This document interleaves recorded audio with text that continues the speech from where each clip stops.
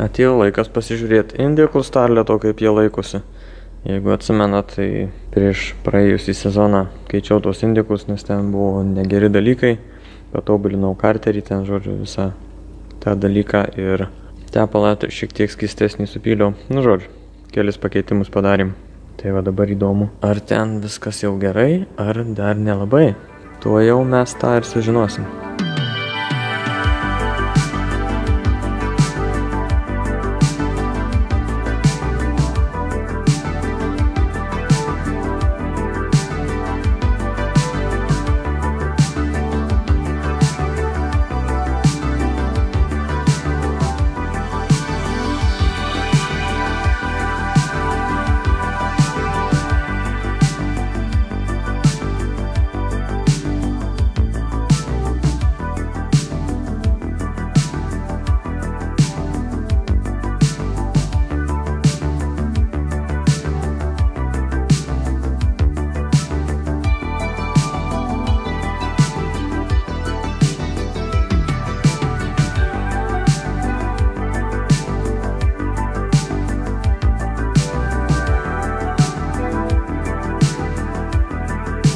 Taigi visi švaistikiniai indiklai išimti ir įdomiai.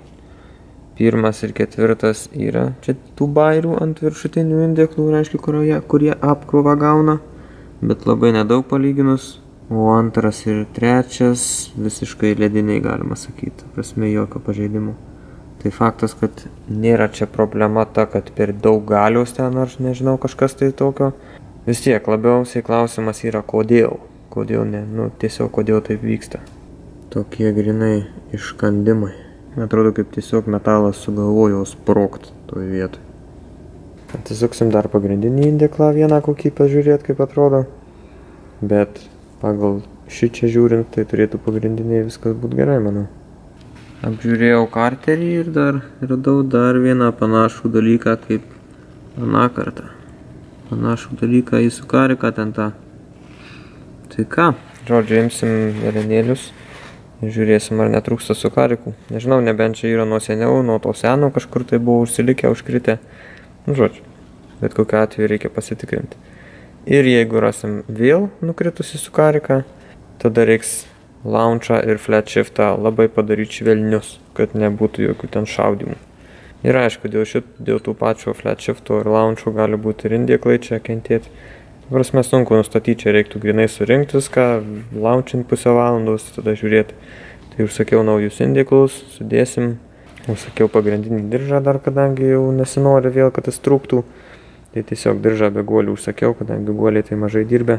Su karteriu tai nežinau, manau, kad viskas su juo gerai turėtų būti. Įsėmėm velenėlius, viskas žodžiu, susižiūrėjom, ar neiššovė tai su karikai, tai viskas vietose. Tai, žodžiu, bus greičiausiai iš praeito karto, ten dar likus kažkoks likęs gabaliukas su kariku buvo kažkur. Reiškia, su velenėlė šiaip viskas gerai, tai voštų tarpeliai, biški čia šitie tokie didesni, tai pabandysim surasti biški storesnės šaibutės, kad suvienodint, visi kiti viskas ledas. Tai jo, nu bet kokiu atveju, manau, sušvelninsime tą launchą ir flat shiftą, kad nebūtų jisai toksai garsus ir pavojingas varikliui. Nauji indikliukai sudėti, karterį užmetėm viską, tai dabar dar užsisakiau diržą, čia yra senas ir gali matyti, kaip jisai čia, nu, taip sakant, turi ką veikti. Nes va, žiūrint iš čia, visi dantukai viskas kaip ir gražu, čia toks kaip, na, žodžiu, viskas tvarkingai, o iš kitos pusės pažiūrėjus, tai yra jie tokie nusišėrę, dirba biškai stipriau, negu originaliai buvo numatyta. Na ir praktiškai viskas surinkta. Šitas bošo diržiukas naujas, pažiūrėjau net šiek tiek platesnis, nu, čia ant vieno milimetro maždaug, bet aišku, čia kuo platesnis, tuo geriau, tuo daugiau darbinio paviršiaus supranti. Nu, žiūrėsim, kaip šitas gyvens. Bet jo, čia sezoninis keitimas bus su tuo diržu.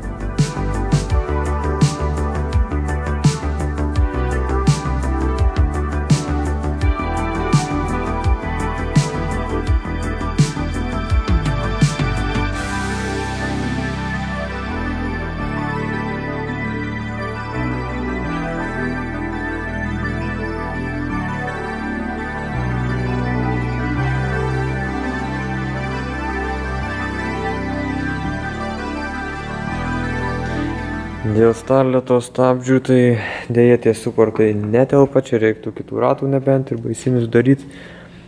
Tai, žodžiu, reiktų kažkokius taikyti kitus. Tarp skylių čia yra 130 prisukimas, kur prie stupicos. O šiaip tai kaladėlių jau praktiškai visiškai nėra. Nuėmiau, tai ten nutrupėjau net pusį. Tai žodžiu, užsisakiau dabar kažkokias pačias pigiausias, nes vis tiek reikia upgradinti stabdžius priekį. Nebent dėti performanso kaladėlės, bet tada pradės diskai lydytis, geriau įdėti tiesiog didesnius diskus. Man kažkaip atrodo, kad nuo Avencio turėtų tikti. Nu, nuo kažkokios Toyotos, nes vis tiek Toyotinis prisukimas, tai turėtų kažkas svapintis, tik tai biškai reikia po šrotus pasivažinėti.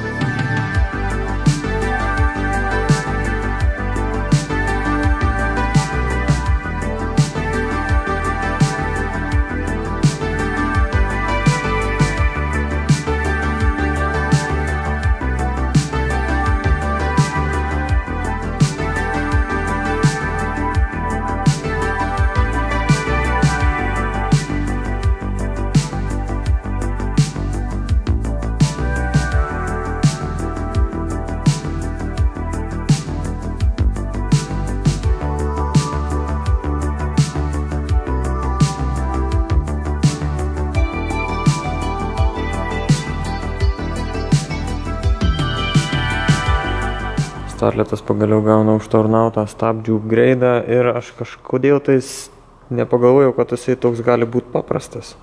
Tiesiog, nuo Avencio.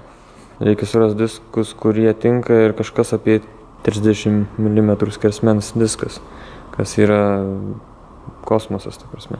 Vienintelė nedidelė problemėlė, kad netelpa su šitais ratais 15. Tai blemba, biški užknasi. Aišku, galima būtų sudėti tuos oranžinius nuo Eriko Klyjo, bet vienas yra suvarytas. Tai nežinau. Šiaip dėl įdomumo jaučiu atsinešiu dabar tą ratą vieną pažiūrėti, ar čia bent jau tiktų. Bet greičiausiai dėsim šitus, kurie irgi yra didesni. Čia yra iš Korolos 96 metų, gal kažkas tokio. Dizelis 8,5 kW, jeigu neklystu. Tai netoks didelis upgraidas, bet irgi gan didelis, man atrodo, 275 atrodo diametras. Tai su šitais turėtų suėti dar 15 ratai. Bet jeigu ir su šitais nesueitų, tai tada vienareikšmiškai reiktų didesnių ratų ir žodžiu. Stabdžių upgraidas pareina starletui ir jisai panašu, kad bus žymiai paprastesnis negu aš maniau, nes nu, prisukimas viskas tinka puikiai, tai, tai reikia tik tai disko. Diskas netinka, aišku, nes skylės ten bencio 5 ir panašiai, bet ir išnešimas disko skiriasi. Tai tiesiog kaip ir 30 parinkau pagal katalogą, ten nu, kažkokio Chrysler Voyager, ten tik tai skilės reikėjo pergrįžti ir viskas. Tai čia irgi panašiai darysim. Svarbiausia, kad suportas tilptų, tiktų ir panašiai. Bet kai suportas Bolton, tai labai fainai. O suportus tai paėmėm komplektas abiejų pusių 20 eurų iš RRR ten tiesiog.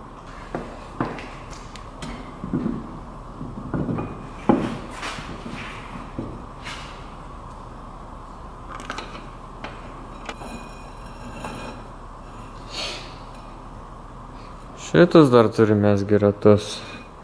Tip top čia praeina pro suportą. Tai klausimas dar kaip sudėjus naujas kaladės, šiek tiek dar jis gali paeiti į čia, nors aš atrodo sustūmiau jį liktai maksimum. Visai man patinka, galima dar tą dalį lengvai su bulgarkė prašlifuoti, kad ten neliestų. Čia dar problema, kad svareliai nepraeina. Tai jo, turbūt reiks tiesiog prašlifuoti tą suporto kraštą, būtent kuris ten arti labai. Čia kaip tik šitie ratai su lievom padangom, tai va, sumesim naujas padangas, padažyti reiks gal. Gal ir visai jam tiks. Aišku, padangos visai kitos bus, žymiai žemesnės ir su streču reikia, kad būtų, nes kitaip nepraeina tiek čia, tiek ten viduj. Tai principai gausis tas pats plotis kaip šitų, tik tai kad strečas žemesnį sienelį ir kadangi strečas ir žemesnį sienelį, tai geresnis kontaktas mašinos su keliu. Nes realiai nelabai turiu pasirinkimų, nebent naujų ratų ieškoti, bet kam ieškoti, jeigu šitie tokie pusiau buvo naudojami. Aišku, galima šitus dėti ir greičiausiai su penkiolukiniais prasisuktumėm. Ant bairių dar pabandysiu užmesti, tiesiog pažiūrėti. Bet, nu, blemba. Bus, kai tokie, va, jau massive reikalai sudėti, tai tada jau tada tikrai bus geri stabdžiai ir galima net irgi kokį žiedą bus pralėkti. Pabandėm uždėti dar ir šitą nuo Korolos. Tai jį užmetus su 15 ratu laisvų laisviausiai viskas telpa, yra vietos puiku, uoga tiesiog. Bet nežinau, nežinau, aš manau, kad dėsiu tą didelį, dėsiu 16 ratus ir vis tiek padangų mums reikia naujų, tai žodžiu, reikia upgrade. Jeigu upgrade, tai upgrade. Taigi apibendrinimui originaliai Starletas atėjo su 238. Čia sudėti stabdžiai dabar tie yra nuo glanzos, tai yra 255 diametras disko ir jisai storesnis yra. Glanzos yra 18, o originaliai buvo man atrodo 16 storis disko.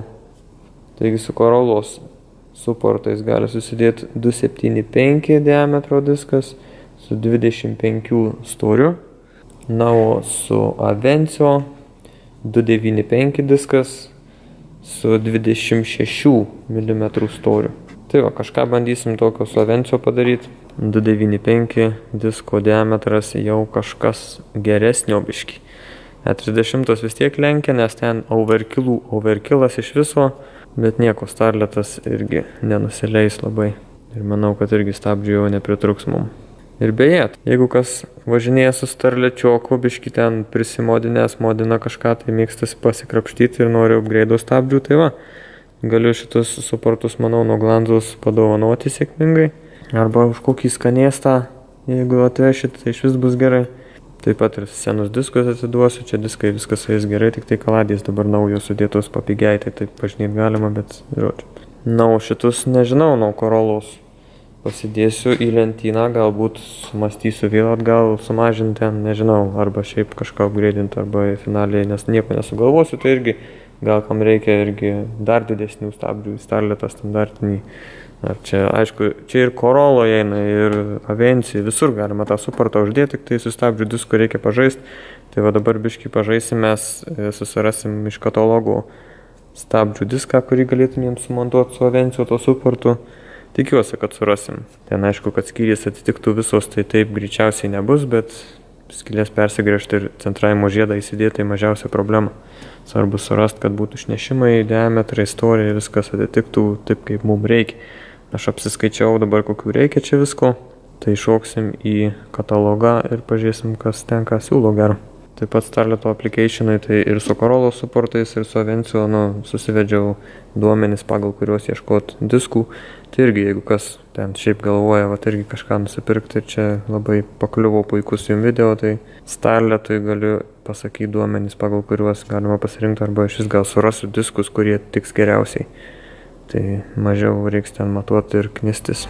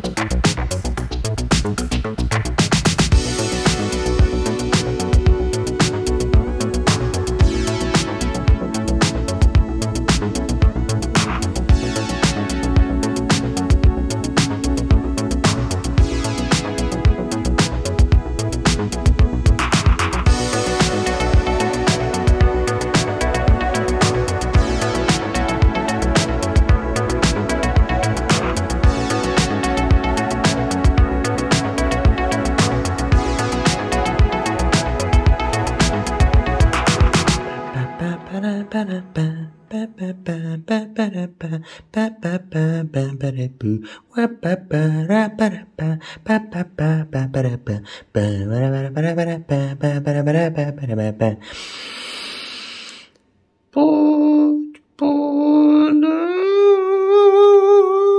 Put, put, put, put, pum, ba, ba, bum, ba, bum, ba, bum, ba, bum, ba, bum, ba, bum, bum, bum, bum, bum, ba, ba, bum, ba, bum, ba, bum, ba, bum, ba, Viso gero. Baigėsi čia paliai.